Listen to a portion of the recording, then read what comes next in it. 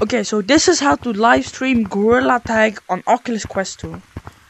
So first off, you want to go to the website oculus.com slash casting. It will be in the description. In there, there will be a few instructions.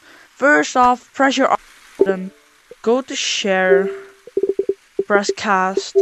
When in cast, select your computer and then next on your computer you should see your Oculus screen. Maybe it will be a bit laggy.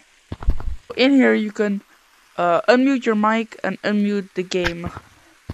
So I I have my game volume like two thirds of the way up. Okay, and now what you have to do is go to YouTube and then press on your icon and go to YouTube Studio in YouTube Studio you can press uh, make and then stream. So if you haven't streamed yet at all, there's like a one day waiting period. So who the fuck joined? Who the heck is in here? Wait, where are you? Why are you doing here? I'm trying to record a video. Get out of here.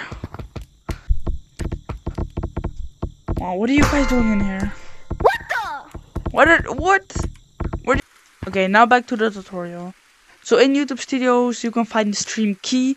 When you select the stream key, you want to go into OBS, press, press stream settings.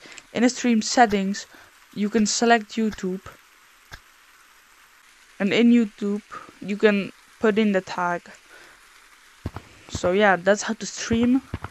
And then you can also add some text to say what the code is where you're in and then have a really cool looking thumbnail.